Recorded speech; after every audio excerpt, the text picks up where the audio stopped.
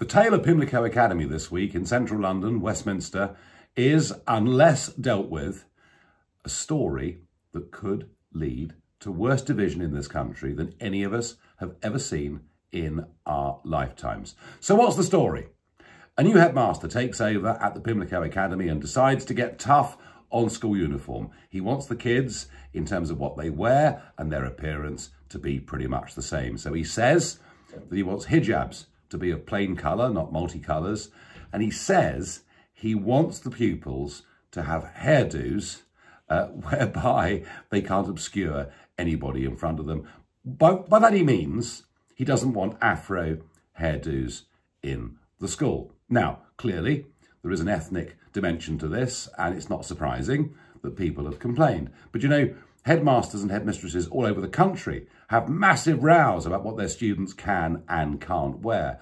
The point of school uniform is to try and make people pretty much the same so that, you know, the children of rich parents can't wear better clothes than those of poorer parents.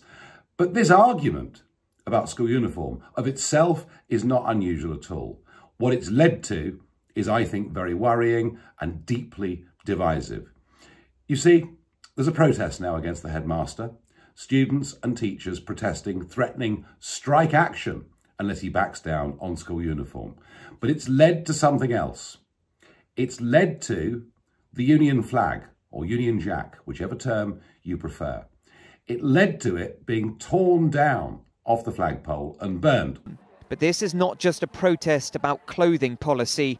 This is about the fundamental identity and values of a school the fact that we have a high percentage of minority students and we have never been educated about black or minorities is abhorrent. I mean, Tudor kings and queens don't reflect who we really are. That flag over there doesn't reflect who we really are.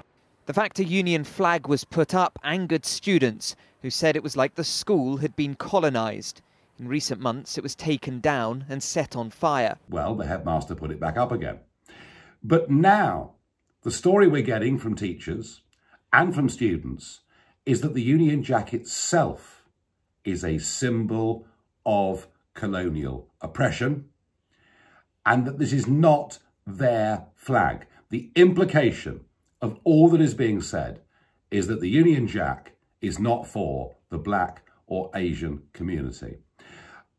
And now the headmaster, in response to this, has taken down the flag. Now, let's just think about this. Just think how many millions of black and Asian people served that flag in two world wars, and every single one of them did it voluntarily. In fact, the Commonwealth forces made up 40% of our total contribution to two world wars. But the point is this, if through Black Lives Matter, and that is being quoted as the inspiration behind this narrative. If Black Lives Matter is inspiring teachers and students into saying that our national flag is not their flag, we are in a very bad place indeed. And, and uh, frankly, an horrendous place.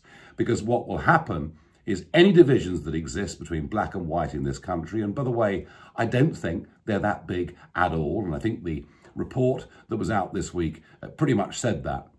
But if that is the narrative being spread through the educational system, we will find black and white people in this country divided as never before. This headmaster needs to reverse his decision. And all of you out there need to wake up to the fact that the whole Black Lives Matter protest was never, ever about equality, about fairness on the grounds of race. It was always a Marxist agenda designed to bring down Western capitalism, to defund the police force, and to do away with the very existence of the nation state itself. Now we can see this at Pimlico Academy writ large. It's something that I think has the potential to be the most divisive and dangerous thing we've ever seen in British society. So let's stand up and defend the flag, particularly as it really is now our flag, as we're getting rid of the European Union flag. And that was, I think, a symbol of, of oppression. The Union flag is now worn on T-shirts by kids all over the world. It's cool. It looks great. There's no other flag like it. It's our flag, and it is a flag that brings together people in this country from all over the world. Once again, the Marxists are doing their best to indoctrinate our children, to divide our country. They're doing it with an agenda, and we must never, ever pander to it. I remember going back to the early days of UKIP, being told you mustn't use the Union flag on literature because, of course, the Union flag is a symbol of fascism. Well, I ignored that. And actually, I think we'd claim back the flag. It had become respectable. You see it everywhere. We can't allow, we cannot allow Marxist teachers at Pimlico Academy to actually make this flag the flag of white people and not black people. It is historically inaccurate, it is wrong, it is divisive. I want everyone to wake up to what's actually going on.